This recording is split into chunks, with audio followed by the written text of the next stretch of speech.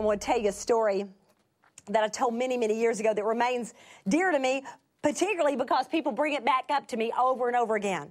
It's probably the thing I've been asked about as much as anything regarding stories and Bible studies along the years. But it's such a statement in my own life and such a memory of God overtaking me and enabling me to do something I couldn't do. You have no idea how dangerous you would be if you would live filled to the measure with the fullness of Christ.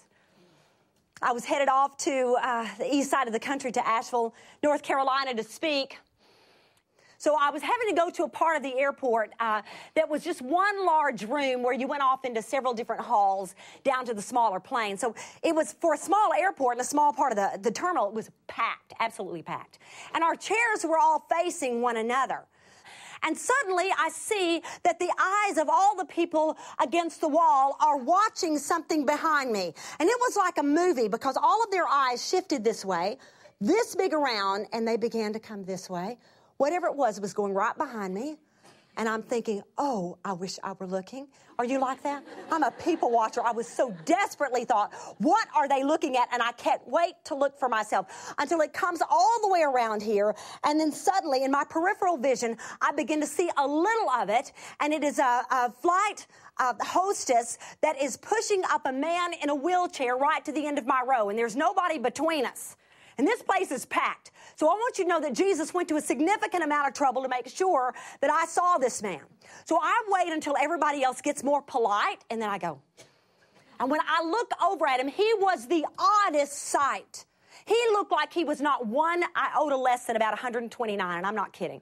This was the oldest looking person I had ever seen. Not only that, but he had gray hair that was down to here. His fingernails were every bit as long as mine. He was clean, but it's just an odd sight. His pants, it looked like that he had obviously lost a lot of weight because they were just bunched up. I'll never forget how he looked, and he was just, his head was just hanging down like this, and his hair was in strings like this. Huh? This is how much God thinks of us just memorizing scripture, but not do anything with it. Because the Lord begins to compel my heart, overwhelms me, overwhelms me. Well, I have learned, I've walked with him a long time. I knew by now that is scary. That God is up to something when he is overwhelming your heart like that. And I just thought, oh, please, God, no. Oh, please, please, God, no. Because I'm already knowing he wants me to witness to this man. And so I say to myself in my spirit, now I'm not talking out loud, but in my spirit, I'm talking to God silently, and I'm saying, I'm sure my mouth is going, because I say to him, Do not make me witness to that man. And now I'm going to tell you, as clear as I'm talking to you now, the Lord spoke to my heart. Then very few times I've ever heard God be this articulate with me. And I'm telling you, word for word, these words came into my heart. I'm not asking you to witness to him. I'm asking you to brush his hair.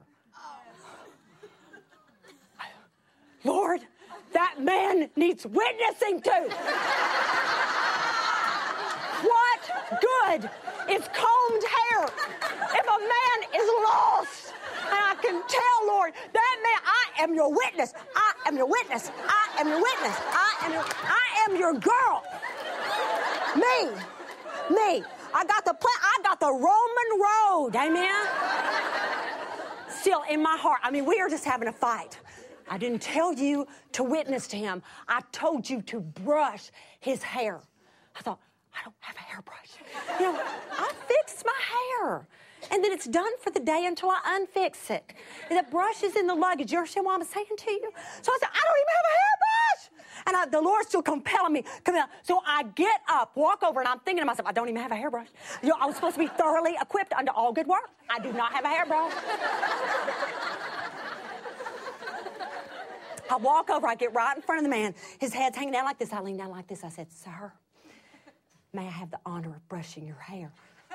And he says, What? A little louder. Sir, may I have the honor of brushing your hair? He goes, Little lady, if you want me to hear you, you're going to have to speak up. Sir, may I have the privilege of brushing your hair? To which everyone in the airport goes, Whoa! And every, I can feel every eye just piercing me just like this. And I'm just humiliated. And he looks at me and says, if you want to. And I'm going, I don't. I don't, I don't want to. I went, yes, sir. I would absolutely love to. But my problem is, I don't have a hairbrush. He says, I have a hairbrush.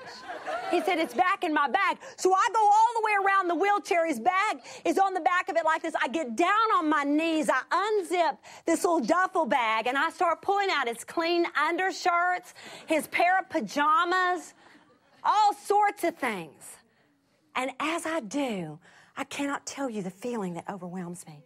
I'm just flooded with the love of Christ. I found the hairbrushes, one of those real old uh, bristle ones, doesn't look anything like our, our brushes do now. And, and when I stood up, I, I began then, I went over to him and I thought, you know, to tell you the truth, this is what I'm good at. I had two girls. I'm good at this. So I just came and I just began to brush his hair, and it was so matted that I couldn't even believe it. And so I had to get down to the very bottom of it, and I, I just brushed the very ends of it, and then just a little bit. It took us forever. And I want to tell you, I was oblivious to everybody else in that room. At that point, nobody else was alive to me. I just kept brushing and kept brushing until that hair was as smooth as silk. I went back around to him and and squatted down in front of him, put my hands on his hands. They were on his knees. His head was just like that. And I said, Sir, do you know Jesus? And he said, Yes, I do. I said, Well, of course you do. that figures. I wanted to share the gospel with you. But no, you need your hair brushed. And he told me that his old bride of so many years would not marry him until he came to know Christ. And he said, I was just sitting here thinking to myself, and he wept. I'm about to cry telling you. He said, I was just sitting here thinking, what a mess I must be for my bride. He'd been in that hospital for months and he was about to return back home. Nobody had cut his hair or anything. I don't know how long it had been since he'd been brushed. That hostess came and put him on the plane, and she came back out and she was crying. I mean, hard. And she said, What made you do that?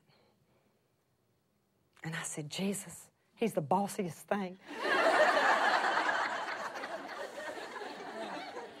she did need Christ, so I did get to talk to her. He knows what our need is. Man didn't need witnessing to, he needed his hair brushed.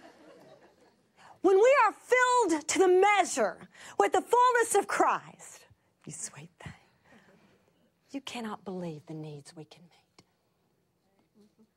we can do what we know we can. And while you're doing it, you're just thinking, that ain't me. That is that really ain't me. No. It's God.